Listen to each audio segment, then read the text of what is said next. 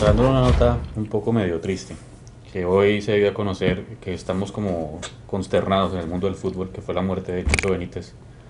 Eh, tú lo has tenido, has tenido la oportunidad de enfrentarlo con, con la selección. Eh, ¿Qué sentimientos te da el saber eso, el que lo tuviste enfrente en alguna ocasión y hoy enterarnos de que, pues, que falleció tan joven también? Es increíble, la verdad. Como tú lo dices, ¿no? Hace dos meses atrás, tres meses me lo he enfrentado, un muchacho lleno de vida, con mucho vigor, con fuerza.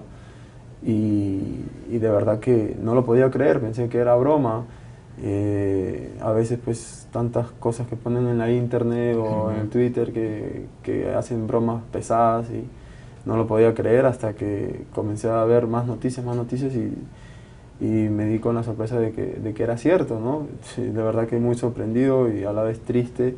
Y desde aquí pues, desde aquí, pues mi más sentido pésame para la familia Benítez, para el país de Ecuador que sabemos que fue un, un jugador muy importante para su selección y también actual campeón con, con el equipo de México en América, Y, y, de verdad que, que, es un momento muy, muy doloroso para, para, el fútbol mundial, ¿no? La verdad que es un, un jugador en el cual 27 años, olvídate, Este, deja atrás de él, pues tiene familia, hijos y todo.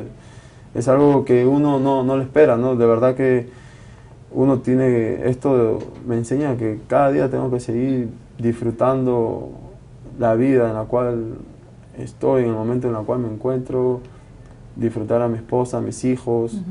la, nadie tiene la vida comprada, hoy estoy aquí, mañana no sé, y, y esto es así, cuando te llega tu hora, eh, te llega y, y así lo, lo demanda el Señor, así que nosotros hay que acatar, lamentablemente los que quedamos aquí pues somos los que sufrimos. ¿no?